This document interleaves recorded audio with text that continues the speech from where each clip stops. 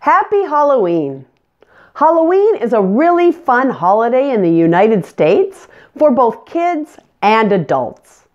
It's celebrated on October 31st every year.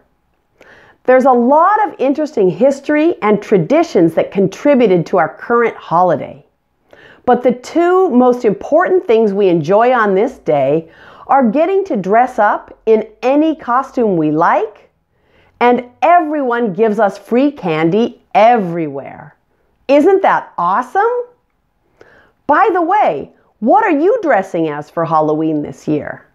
Let me know in the comments section below. I'm dressing as Medusa. Okay, but what does this have to do with pronunciation? Well, here's the connection. One of our most popular candies in the United States is M&Ms. See, I have a bag right here to give out to the kids who come to my door this year for Halloween. By the way, what's your favorite American candy? My favorite is Snickers. Anyway, one of my students asked me a great question the other day how to pronounce M&M's, the candy, and also how to pronounce the store H&M. This leads us to another discussion on reductions. So let me explain how the word and is often reduced. It usually sounds like the letter N or the word in, like in the sentence, I'm in the house. So to pronounce the candy, you say M&Ms. M&Ms. The and that's in the middle of the two M's is just pronounced like the letter N. M&M. M&M. There's one more thing you need to watch out for when pronouncing this. Make sure you stress the last letter in the combination. M&Ms.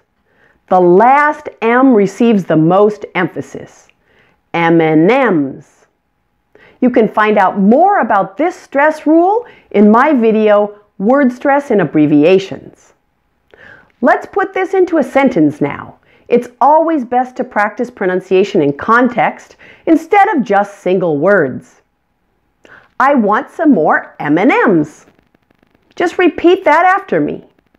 I want some more M&Ms. And now let's try it with the name of the famous store, H&M. Again, that and in the middle is just pronounced N, H-N-M. And M. And make sure to emphasize that M at the end, H&M. I just bought these shoes at H&M. And that's actually true. Can you think of any other brand names that are similar to M&M's and H&M? Now you know how to pronounce them. If you'd like more lessons on reductions, here are some more videos you might find helpful. I hope you enjoyed this video. I had a lot of fun making it. Please share it with others and don't forget to like it and subscribe to my channel if you haven't already. Happy Halloween!